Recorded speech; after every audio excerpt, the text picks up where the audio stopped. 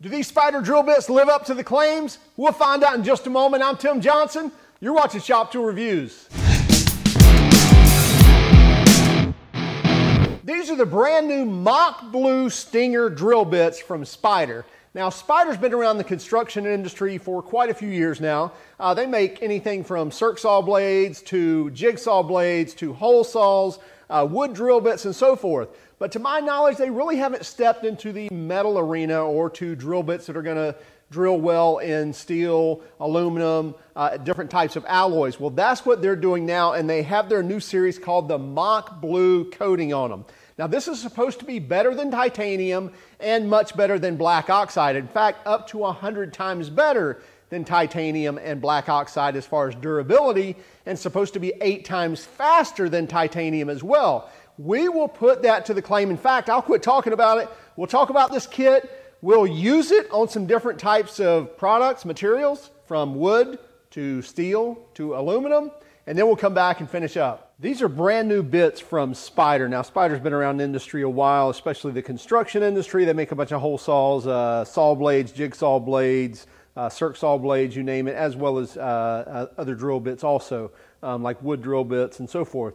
This is their first in what they're calling their Mach Blue Stinger bits. Uh, these are going to be sold at Lowe's. They are made in the USA. So uh, this kit, this half inch bit here, you see it carries the Made in the USA logo because uh, they are made in the USA. So that's a great thing. For one, um, you can buy this 10 piece kit starting in March 2021 uh, at Lowe's. So Lowe's.com as well as your Lowe's store.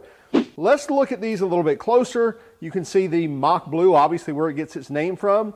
They've got this blue coating. Now they're claiming the Mach Blue coating is much better than titanium, titanium up to 100 times more holes than titanium or black oxide and up to eight times faster than titanium bits. So we'll test those out and see. You do get a 137 degree uh, split tip design here which I like that. This is not a drill tip or a starter tip, if you will. Uh, it's just got the split tip design and it is 137 degrees. It should be able to self-center really easy and shouldn't walk off as long as it's cutting well and, and again we'll see that in one moment. Now obviously these are going to chuck up in a drill rather nicely as well as fit into your quarter inch impacts also. So you see the quarter inch hex design all the way up through the half inch bit. Now you will notice a couple of different things here. In this case that we get in the 10 piece kit, by the way, the half inch does not come in the 10 piece. The 10 piece includes everything from a 16th all the way up to the 3 eighths and then the half inch you have to buy on its own. But you'll notice here that the largest two bits, the 5 16ths and the 3 eighths, come with the hex shank, you know, already milled or, you know, uh, made into the bit itself. Whereas the quarter inch and smaller, you'll notice, is a cast aluminum. And I'm saying it's cast because you can actually see some casting lines here uh, that's cast onto the bit. Now, don't know over time if that will cause some slippage or not. It does help that it does have the hex shank, so you're, you shouldn't be slipping your chuck on this. The chuck should be able to grab those three different flats really easily and hold onto that, as well as your impact wrench. Obviously, that's going to go into your impact nicely. Uh, so don't know if over time that'll be a failure point, but just wanted to mention that that that is cast aluminum. Another thing to note on here that I noticed in the cast aluminum, and you can see a little tag there left on that casting piece, is it left a little bit of residual, a ridge, if you will, so two ridges, one on this side and 180 degrees on the opposite side. I would definitely recommend to uh, take a quick file or a little, you know, sander or something and just knock off that ridge because that could potentially cause an issue on your impact wrench. Now, probably not going to cause an issue on your drill, um, but I would definitely just dress that really qu quick with a file or, you know, sandpaper should work just fine as well. Should be able to knock that off really quickly and get that cast aluminum back uh, nice and rounded so it's not going to hang up in your impact wrench when you slide or in your impact driver when you slide that in and out. Now, as far as the case goes, uh, I guess it's great that you get a case with it with the 10 piece kit. It is pretty cool. It's kind of got this little locking lip right here, so it's going to lock that into place. Not, they won't uh, fall open, if you will, if you've got them locked. Uh, however, I don't know over time again if that's going to last, but I'm not buying a, you know, a kit like this for the case anyway. Um, and when you close it here, it's got a, a, locking tab there. But my biggest beef with the case is just so thick. So it's, it's a really thick case.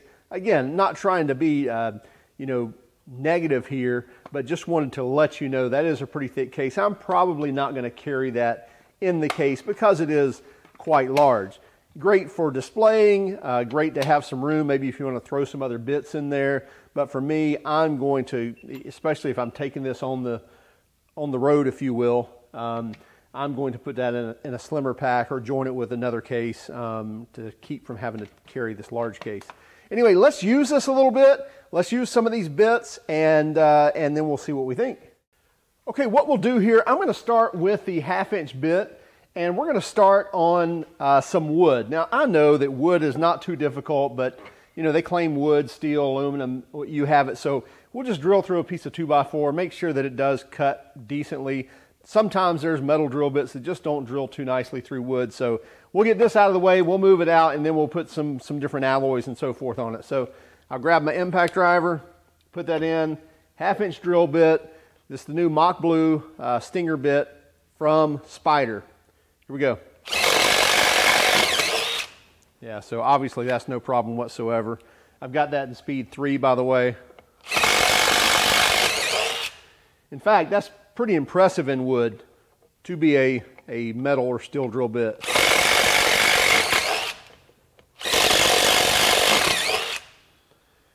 Nice and clean. Of course, coming out the backside, probably not, especially drilling that fast, but pretty clean hole, again, to be a your typical uh, steel drill bit to be drilling through wood. So let's put something else in there and go from there. Now I'm going to start with something easy, just a piece of aluminum here. And I'm going to step down and we'll go to just a 5 32 inch bit here. And I'm also going to start with using a little lube, just some cutting paste. We'll go to do some dry cuts after this, but I want to take care of them first and then we'll we'll try them and kind of push them a little harder after. So just a typical 5 16 through aluminum. Yeah, no problem there. Probably a little fast. Slow it down a little bit.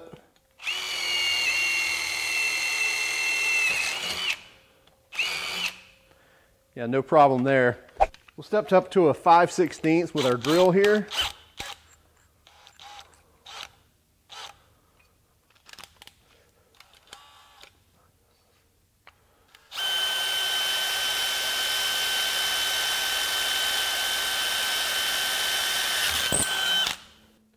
You know, you want to be cutting chips. You don't want little bitty chunks coming out or little bitty, little bitty pieces flying out or just powder, if you will. You want to see either uh, strings being pulled or nice big chips.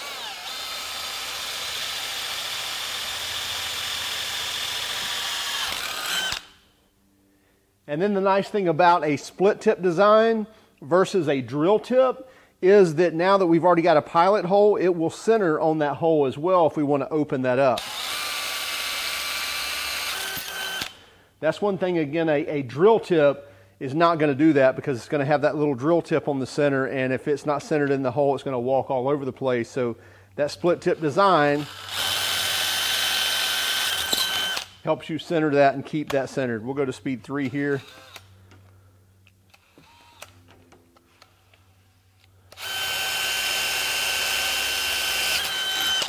Still cutting big chunks, not just burning through. So uh, let's get some different material in here going to go to some layered steel. So sometimes uh, bits just don't like to be in a situation where they're drilling through multiple layers. I'm going to slow down the speed two. And again, I've still got the 5 16 inch drill bit.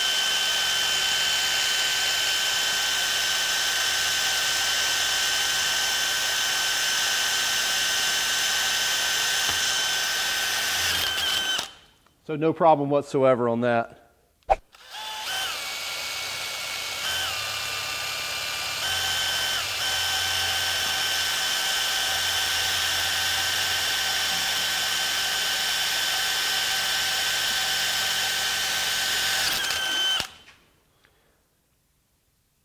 Doing a great job cutting through there very fast.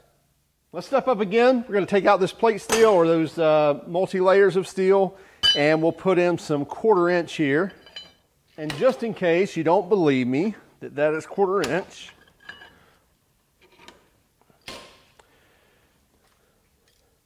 I think it's at least a quarter inch. Yeah, so 298. So quarter inch would be 250. So 2.98 is more than a quarter inch. Okay, so we've got some plus quarter inch steel. We use that same 5 16 5 16 inch bit we've been using. A little bit of wax on it. And here we go.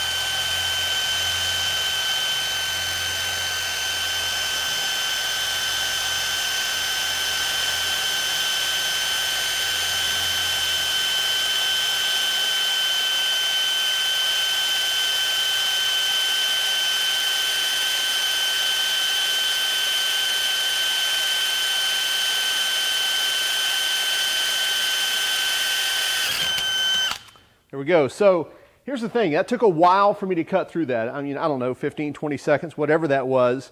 Uh, and I'd never re-dipped uh, to lube that again. Typically, probably after halfway through, I'd probably dip it again just to save my drill bits. Regardless, however you're going to do that, I kept seeing chips come out. I kept seeing things coming out. So as long as I'm seeing that, I'm still cutting. I'm not overheating that tip. Uh, I'm not going too fast, if you will. Again, if you go to seeing just some of that dust coming out, you need to either slow down, check the bit out, what have you. But as long as I'm seeing nice chips come out, then I know I'm still cutting. Now let's go to an impact wrench and we'll step up to the 3 8 bit.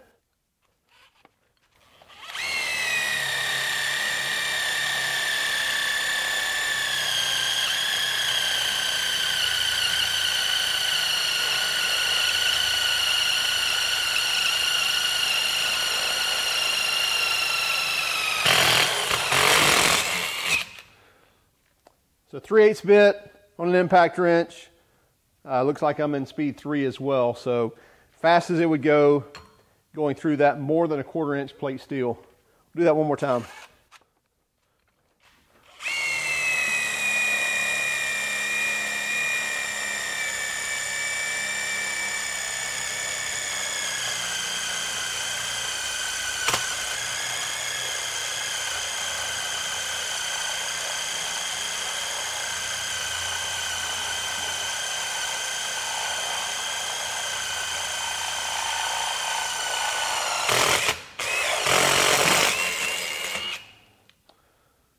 Again, no problem, 3 8 hole through that quarter inch. Okay, let's take another step up. We'll go to some, actually more than 3 8 steel. Again, just so you'll know, 0.4, so 3 8 would be 0375, and or that would be 375, and this is 4050. So this is more than 3 8 of an inch thick. And we'll stick with the impact wrench for right now. Here we go, 3 8 inch, more so.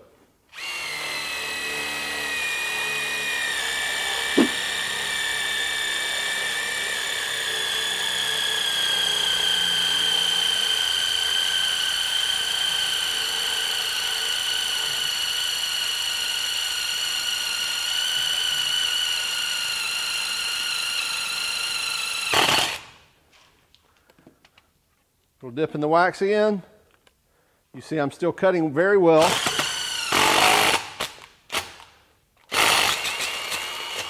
Three eighths inch drill bit and 3 8 steel. Cut through it no problem. In fact, that's more than 3 eighths. Now let's step up to the half inch bit. We'll put that in our drill here. So half inch bit, no pilot hole, no starter hole. Little bit of lube. Here we go.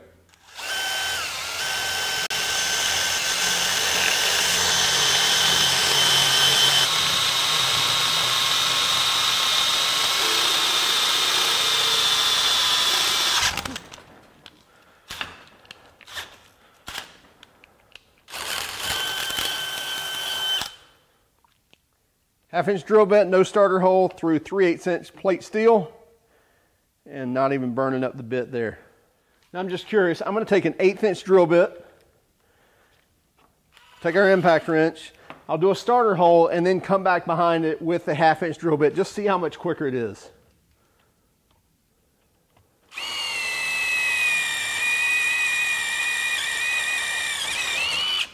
That was really quick, even though it was eighth inch. So now our half inch bit with a starter hole.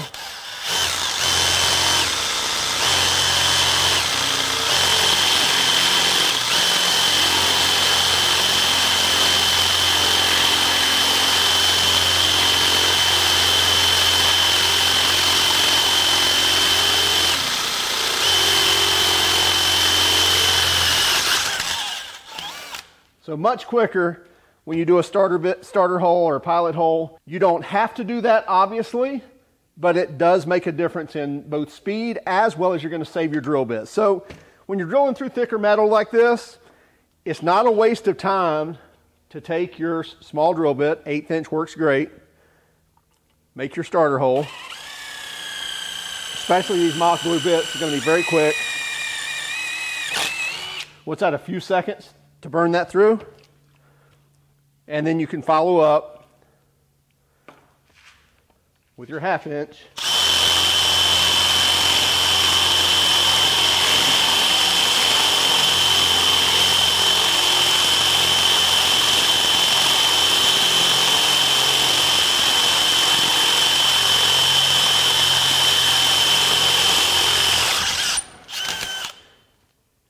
And there you go.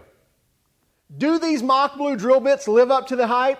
I think they do a very good job. So these new drill bits from Spyder, I think they're living up to the claims. Are they 100 times longer and eight times faster than titanium? I don't know. We're not going to test that. But as far as what we've seen through drilling through thick steel, which in my opinion, that's really where these things are tested anything's going to be able to drill through, you know, an eighth inch hole through sheet metal or an eighth inch hole through, uh, through wood or even a half inch hole through wood. That's really not where we're pushing our drill bits and we're really, you know, leaning on whether or not they cut well and whether or not they're going to last because any old cheap drill bit set or drill index is going to do that. And listen, I get it. You walk through the big box store, you find the cheapest, you know, drill index set and you pay your 15 bucks and you're out the door. However, there are those times where that's going to come back and bite you. And that's the time where you need to drill through thick steel. You need to drill through stainless steel, through a lot of aluminum. And that's where you need a good set of drill bits. And I think this is somewhere in the middle in, in, in there. And you're not stepping up to a cobalt set that's going to cost you several hundred dollars. You're buying a 10 piece set that's 40 bucks. They're going to last. Listen, I pushed this thing a half inch drill bit through 3 8 inch thick steel. It cut very nicely. I would definitely recommend making sure you're keeping some type of lube on there, some type of cutting oil, WD-40 at least. Um, we use some cutting wax. We think that works really well. It kind of sticks to the bit till you get it going. Uh, but anyway, when you're using larger drill bits, use a little bit of lube. That's just going to help protect your bit, keep it for longer, going to keep the cut cooler, and make sure that you're cutting bits. If you don't see bits flying out, then stop. You got something going on, you're going too fast, or the drill bit got a burr on it, something, but you're not cutting. You got to be cutting, and you should be cutting chips at least to make sure you're cutting through the steel. Hey, I would recommend this. You'll see these in March of this year show up on Lowe's shelves. You can also find them at Lowe's.com. Again, $39.95 for the 10 piece kit. Does not include the half inch drill bit. I'm not sure how much the half inch alone is going to be, but look for them. We'll put a link in our description as well once we have one. Hey, if you don't mind, would you keep track of us on Instagram, Facebook, and Twitter? And would you hit that like and subscribe button? But only if you like this video. If you hated this video, be sure, give us that thumbs down. But would, but would you let us know in the comments why? Have a great day and keep smiling.